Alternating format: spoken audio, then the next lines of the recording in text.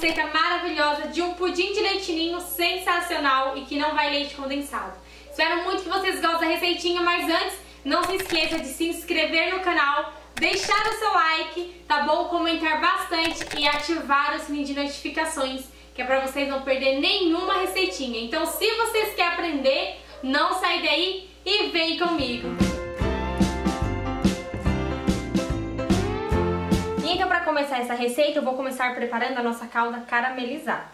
Então, em uma panela, coloque uma xícara de açúcar. Aqui eu tô utilizando o refinado, mas também pode ser o cristal, tá? Eu vou esperar esse açúcar começar a derreter nas beiradinhas, tá? Nas bordas aqui da nossa panela. Quando começar a derreter aqui as bordas, aí eu vou começar a mexer ele, tá? Então, eu vou esperar um pouquinho e daqui a pouco eu volto. Então, como vocês podem ver, ó, começou a derreter aqui as bordas, tá? Do nosso açúcar. Agora sim, vamos começar a mexer esse açúcar até ele derreter totalmente, sempre mexendo, tá bom? Pra não ter risco de queimar e sempre de olho.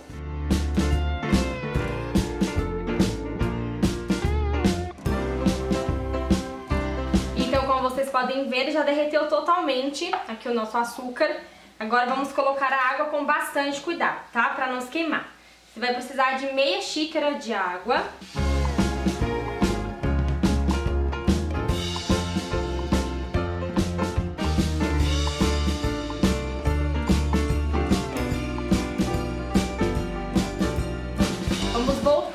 Esse açúcar até ele voltar a derreter novamente essa parte aqui, tá vendo? Porque quando a gente coloca água fria, acontece isso aqui. Mas é só continuar mexendo que ele vai derreter novamente, tá bom? Depois que derreter, você pode desligar o seu fogo. Já derreteu totalmente aqui a nossa calda, como vocês podem ver. Eu não lembro se eu falei, mas as xícaras que eu utilizo aqui no canal são de 240 ml. Agora eu vou desligar o fogo, transferir essa calda já para a forma. Então já peguei aqui a forma que eu vou utilizar, passar o nosso pudim, transferir já a nossa calda e agora preparar a massa do nosso pudim. E então para a massa do nosso pudim, você vai precisar de 4 xícaras de leite integral, lembrando que as minhas xícaras são de 240 ml. 6 ovos, uma xícara de açúcar refinado e duas xícaras e meia de leite em pó, marca de sua preferência, tá bom? Mas aqui, como vocês sabem, eu tô utilizando o leite ninho, porque é o pudim de leite ninho. Mas pode ser a marca de sua preferência, que não tem nenhum problema. Eu vou bater aqui esses ingredientes por volta de 2 minutos, até tudo ficar bem homogêneo.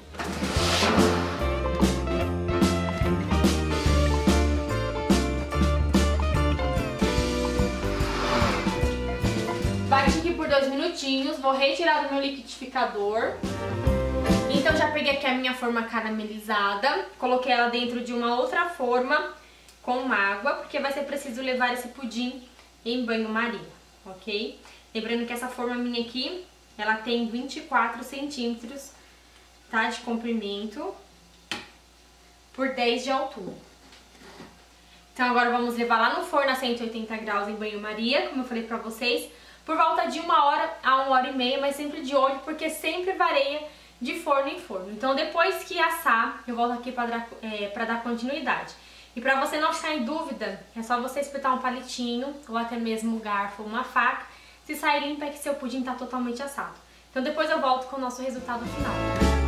E o nosso pudim já ficou pronto, ficou por uma hora e 30 minutos no meu forno, mas como eu sempre falo pra vocês, varia de forno em forno, tá bom? Deixei esfriar também totalmente, levei na geladeira pra ficar bem gelado.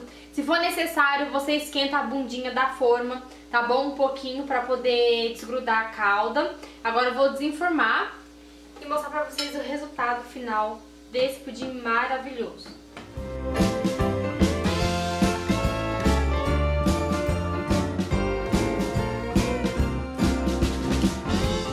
Olha só, gente, que pudim maravilhoso. Lindo, lindo, lindo. Agora é só tirar aquele pedaço e mostrar pra vocês de pertinho como que ficou essa receitinha maravilhosa.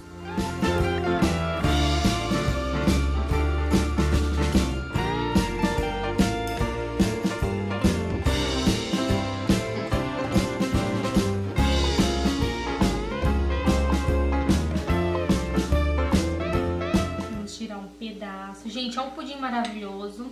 Não tem como dar errado. E o bom de tudo é que não vai leite condensado, né? Porque o leite condensado andou um pouco carinho ultimamente. Deixa eu tirar aqui, olha.